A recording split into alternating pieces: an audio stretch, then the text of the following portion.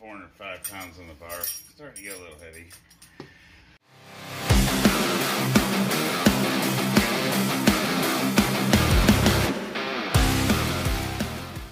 I'm gonna go ahead and put my belt on. Now, I usually train beltless. Till about eh, 70% of my max. All right, real quick. Somebody had asked me, like, how do I look up the powerlifting rankings to verify that I'm actually telling the truth? So I thought I'd show you guys real quick.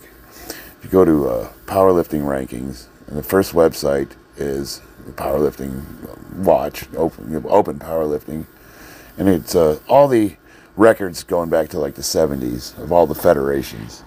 And you can quite simply go up to the upper uh, left hand corner here and go to rankings and then you can select you know your weight class i'm 220 you can uh, then select you know male female.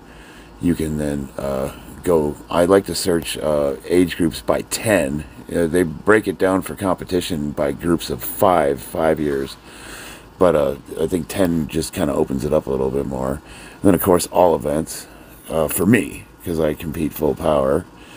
Now, DOTS is generally the accepted uh, scoring system. And as you can see, I'm right now number two in the world, all federations. I, I said I was one, I got bumped down, I guess. Now, if I go by McCulloch, which is DOTS with uh, an age modifier, it bumps me down a little. And I was looking at the number one guy, and he's a he's a lightweight guy. Like his numbers, his squats, uh, he's not even um, I think he doesn't even have a 1,500 pound total, but because he weighs so little, that he outranks me. That's crazy. Uh, so it's interesting if you because it goes by weight classes. Um, you can go by you can search by total weight. So if you want to know who actually lifts the most, you can go by dot score. You can see who scored the highest but it all uh, it breaks down relatively within two or three of each other. So the scoring's fairly accurate. But you can look up any lifter, any anybody who says they compete, or anybody that's uh, you know claims to have records. You can go to this website, and you can just plug their name in. Like think of a lifter right now and put his name in there, and it'll come up. If he's competed and it's on record, it'll be on this website. Here's a video of me way back in the day. This is the first time I deadlifted 600 pounds, and uh, it was on a flip phone. Man, I was going through my phone trying to find, or my video collection, trying to find me back uh, when I was 100% natural, and I dug some of these up. Uh, you can see, like, the garage is clean. I think we just moved into the house. Um, it's like I just man, I used to have the weight set right in the middle. Like it was back when I could actually like use my garage for a lot of other stuff. I didn't have the I didn't have my floor covering. I my punching bags. Uh, the workbench was set up on the other side, and um, yeah, it's just it's amazing how much things change in such a short period of time, and it's kind of funny to go back even just a couple of years just to see how how different or how quickly things can change. You know, man, it takes me back. It was a uh, right about. I think this is right when I just started making YouTube videos, and uh, I was watching like the the full video, like without me cutting it down. It was me like trying to explain how to do deadlifts, and uh, the information's solid in it, but I just ramble on and on and on. It was like uh, I had not yet connected with an audience or really I was just just learning how to make videos. Didn't know a thing about editing. Um, and they're kind of hard to watch. It's like Jesus, even I was like, get to the point, my man. You know, like, really, what I wanted to highlight is, you know, um, a lot of people, they, they have everybody's got their opinions, and they think of everybody that's on yeah, TRT or whatever, uh, they're on a bunch of drugs, and there's no way that they could obtain that physique unless they're on a whatever. And honestly, I'm not trying to convince those people. Otherwise, this is more to, for the people that are serious and really want to know. So you guys have used good information, and as you can see, I'm really not that much smaller. You know, like size wise, uh, I have a higher body fat percentage, so I would the weight distribution or the body recompositioning would be a little bit higher fat percentage, a little bit lower the muscle. But I mean, roughly, I'm not. I mean, if you if you compare this to me right now, like the size difference isn't extraordinary, um, and it's within ten pounds probably. You know, so and really, what th- this is more to highlight what you can obtain naturally over the age of forty. It's totally possible with just you know doing five compound lifts. So, and, and I, I, I want people that are questioning whether or not they need to take performance enhancing drugs in order to get big. I want them to see this so that they you understand you don't need to. Absolutely don't need to. You know, so mean, the reason, you know, the choices I made are all personal and had to do with my quality of life. You know, everything from how I was feeling physically to depression to just motivation and all that stuff. But as far as like, if just building a good physique and getting strong, um, you, you, just don't need to do it. And I, I want, uh, and that's for my younger brothers that are at, you know, I, I've been getting a lot, ever since I started doing live streaming, a lot of people have been asking me these questions. And um, the sentiment I get from a lot of young guys is they feel like they need to uh, use drugs in order to build a physique. And that's like, I don't want, I know, you don't. Absolutely not. And don't do it. Don't do it before, this is my opinion, don't do it before you've attempted to try to, uh, you know, cultivate that for yourself naturally. And then, you know, once you've really put some solid training in and you start running into roadblocks, uh, and if, if, then you can have that conversation, you know. And even then, it's still a conversation you need to have. I think like it really comes down to is like you really want to try to do as much research and talk to as many people and really dig in and find the good and the bad and the ugly and all of it before you make any kind of decision. Oh, there's so much just bad information out there, and the conversation's so low resolution. It's, um, yeah, a lot of people that there's. It's hard to find anybody that will discuss it seriously, and you know, it's a topic that, um, you know, obviously like this is more like for educational purposes. Um, not to get off topic, but I still can't get over what my garage looks like. I'm looking at it like, wow. Uh, those deadlift platforms, I took um, uh, plywood, three quarter, three inch, three eighth inch plywood with a little bit of carpeting glued on top of them, and then uh, two wooden strips on each side so that the weight doesn't roll back and forth. And I I was wondering, like, why did I stop using those? And I, what it is is uh, when you drop the weights, it starts to flatten the uh, uh, the plywood over time, and then you get these grooves built into it. And uh, and even then, that's not an issue too much. I think what happens is the wood starts splintering. But I digress. I don't want to get off off topic. I just can't get over it watching these videos. Uh, but you, you know, the bottom line is. Uh, whether whether I use a lot, a little, none at all, whether I'm telling the truth or I'm a total liar, whatever the case is, uh, that all that's relevant because there's really no way. I mean, you know, there's no way for you to prove what unless you go to the doctor with me and you see the printout, you watch me pee in the cup and you watch him take the blood. Like, there's just no way to uh, get a truthful answer out of somebody. And no, no, I know for a fact that he's being 100% honest. So it really comes down to like, do you trust the source of information?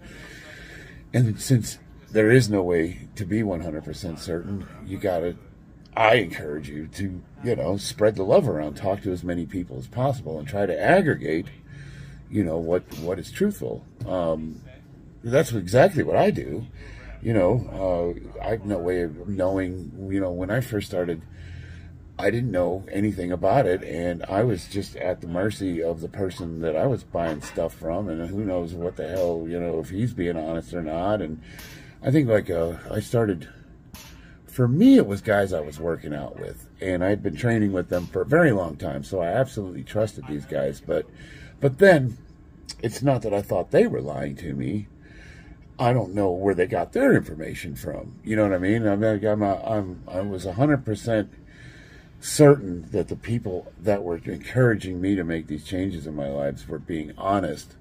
But then it came down to where were they getting their information from? And luckily, like I said, like my wife is a microbiology student, and she's going to UNLV, and she's getting a pretty advanced degree. And I have a background in chemistry, so I knew, you know, both of us knew how to interpret research papers. And um, you know, I worked with a doctor and a physical therapist, and these are guys I train with. They do this professionally, so it's like we had good people that um, were in the medical field that we could bounce ideas off of and get good at least good anecdotal opinions. And then, of course, um, since I was training at Iron Addicts and I trained with uh, a lot of the uh, the arm wrestlers and some of the bodybuilders here in Vegas, I was able to get their experiences, and they were, you know, some of the, they would tell their horror stories, the good and the bad and the ugly. So it was easy for me to get um, a good idea of what I was getting into. But for the people on YouTube, you know, I want you guys to have the best possible information and uh, I, the last thing you want to do is take some retard working out in his garage, his word for it. But, uh, you know, I really do my best to try to be as transparent as possible. I mean, like, I don't care personally, you know, what anybody thinks. I'm going to do what I'm going to do regardless because I'm not doing it for YouTube. I'm doing it for me.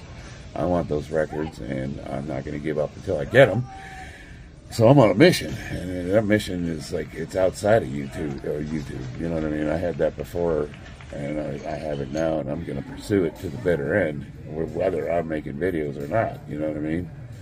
One of my goals is I want to be, you know, the, I love powerlifting so much. It's been a, such a huge part of my life, and it's changed my life in so many ways. You know, it's brought me around the United States. It's introduced me to a whole bunch of awesome people, uh, lifelong friends relationships. Uh, every, first competition I went to, I was so scared. I had no idea what I was getting into, and I really didn't think that I was any good, and I really wasn't. I mean, I, I was decent, I had good numbers, but like, none of that mattered. They didn't care. No, they made me feel so welcome, and it, it was a real so come as you are kind of a community. They were just more interested in your involvement in the sport I heard the same thing over and over again. It doesn't matter what your numbers are; they'll get better. You just they just want you to to, to get bit by the bug and, and get the same passion they do. It's, it's um, almost got like it's almost cult like, you know. Uh, it's a bunch of misfits. Uh, powerlifting is just a bunch of. It was all the kids that were picked on in high school, all the nerds, all the Dungeons and Dragons people, all the, you know, the chess club, the art club, the weirdos. You know, the people that just couldn't find a place to quite fit in. So we all just be, found a corner of the gym and became monsters, you know. and so much love, so much love. I just love it. Oh, man. But more to that, you know, when I got on YouTube and I made my channel, um, I found out the hard way that uh, YouTube kind of categorizes you by who you interact with. And what, I, what I see happening with a lot of small channels, new people, is they get trapped in these bubbles. Um, you, you, start talking to people, and then you talk to their friends, and you know, next thing you know, you got this little um, group of people that interact with each other, and it seems like um, it's hard to break out of that. Uh, it, it, and the reason I bring that up is because I see a lot of small channels that are relatively new and they're going through some of the same things I went through when I first started my channel, and uh, it, it, it, can feel like when you only have a couple hundred subscribers and you get the same 20 people coming to your channel all the time, uh, and half of them are maybe picking at you, making fun of you, trying to see how thick your skin is and see if you're, you know, one of those people that reacts. And if you're new to YouTube and you're not used to how venomous people online can be, it uh, you can make a mistake of reacting, and then then they just it's like uh, I know I watch my chickens, and here's what I noticed: when one of them gets an injury, like say they're bleeding a little bit, the other chickens will just start picking at it, and next thing you know, they'll just shred them apart. It's crazy. So you got to see if you have an injured chicken, you got to you got to grab them, get them away from them. They'll tear them apart. It's like that with YouTube you you know it's like sharks smelling blood in the water. If you uh, you show any kind of like emotional reaction or feelings, they just oh Lord in mercy, they come after you. so to, it helps to have thick skin, but like you learn that the hard way. You know what I mean?